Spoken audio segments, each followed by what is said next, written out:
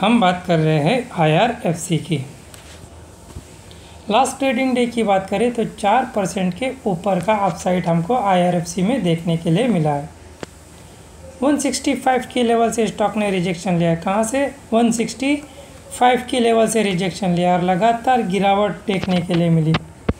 115 की लेवल से स्टॉक ने सपोर्ट लेके बाउंस बैक किया। एक जंप आया 145 तक का।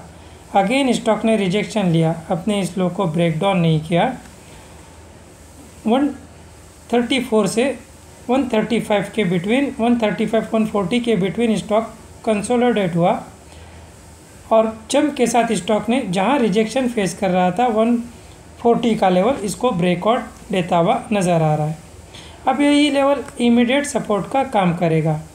और हम देख सकते हैं स्टॉक ने जहाँ जिस जगह से पहले रिजेक्शन लिया था अगेन उसी लेवल से रिजेक्शन फेस करता हुआ नज़र आ रहा है। 145 का ही लेवल जहाँ से स्टॉक रिजेक्शन फेस करता हमको सेकंड टाइम नज़र आ रहा है। लेकिन यहाँ से हमको बड़ा सेलिंग देखने के लिए नहीं मिला। स्टॉक अपने हाई के आसपास ही हमको क्लोजिंग देता हुआ नज़र आ रहा है।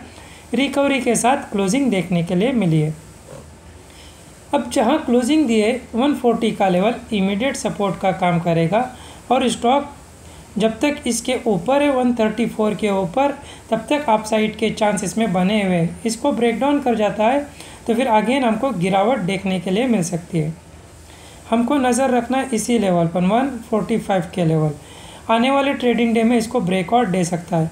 अगर इसको ब्रेकआउट देगा तो अगला टारगेट बनेगा 150 का लेवल और 150 के लेवल को स्टॉक ब्रेकआउट करके जहाँ से गिरावट दिखाया था। हमने स्टार्ट में डिस्कस किया था कि 165 के लेवल से गिरावट दिखाई तो यहाँ तक के टारगेट दिखा सकता है।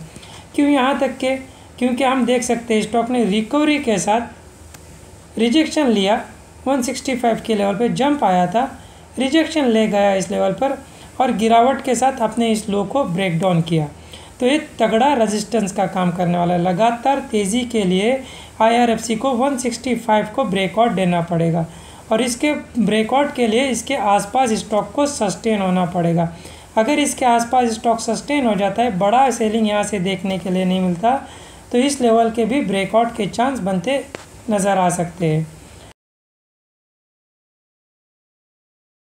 अगर आप डिमेट अकाउंट ओपन करना चाहते हो तो डिस्क्रिप्शन में दी गई लिंक से कर सकते हो। वीडियो जो एजुकेशन पर्पज़ के लिए कोई बाय सेल या होल्ड की सलाह नहीं है।